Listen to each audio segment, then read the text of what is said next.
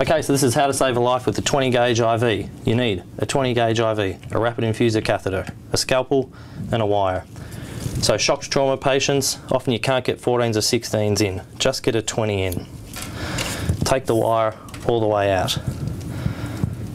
Feed it into the cannula.